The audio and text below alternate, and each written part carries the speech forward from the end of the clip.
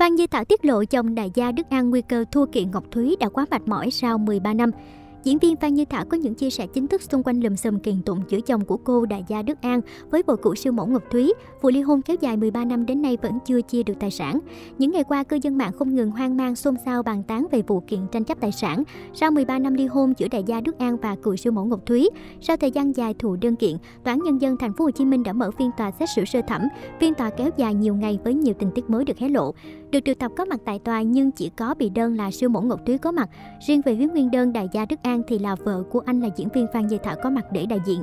Tại tòa siêu mẫu Ngọc Thúy đã đề nghị nhận toàn bộ tài sản là các căn biệt thự căn hộ tại thành phố Hồ Chí Minh cùng cổ phần tại hai công ty và sẽ hoàn trả lại cho chồng cũ hơn 39 tỷ đồng. Phía nguyên đơn không đồng ý, đoàn Ngọc Thúy khối tài sản có giá trị ước tính hơn 276 tỷ đồng để chuyển vào tài sản cho các con chung giữa hai người.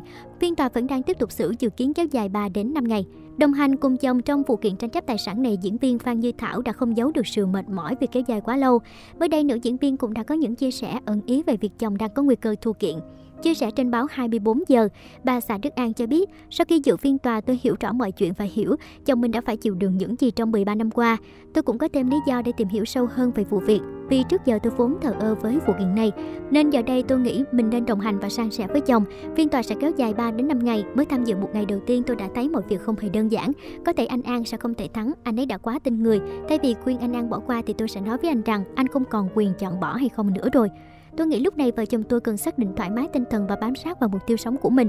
Mọi chuyện không phải lúc nào cũng theo ý muốn, nên mình hãy nhìn nhận theo hướng lạc quan và tích cực. Tôi sẽ dành thời gian ở bên anh nhiều hơn để, để chia sẻ và động viên anh. Văn Như Thảo chia sẻ thêm, hiện tại đã trải qua hơn 13 năm vụ kiện tụng.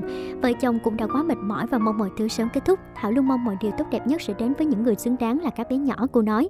Chưa hết một phần khiến cho nữ diễn viên có tâm trạng sa sút là bởi nhiều bình luận ác ý cho rằng Phan Như Thảo là người đứng sau, giật dây để chồng kiện tụng lấy lại tài sản của mình. Tuy nhiên sự thật là nếu thắng kiện thì đại gia Đức An cũng hoàn lại mọi thứ do các con chung của anh cùng với vợ cũ. Tôi từng bị những bình luận làm ảnh hưởng tiêu cực tới tinh thần và tâm lý.